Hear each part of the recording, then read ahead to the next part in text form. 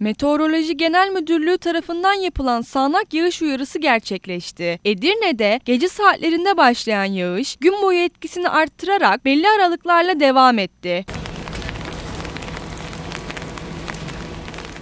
Son yılların en kurak mevsiminin yaşandığı Edirne'de etkili olan sağanak yağış üreticileri sevindirdi. Yağmurun zaman zaman etkisini arttırmasıyla birlikte cadde ve sokaklarda su birikintileri oluştu. Sabah saatlerinde yağmura hazırlıksız yakalanan vatandaşlar çareyi saçak altlarına sığınmakta buldu.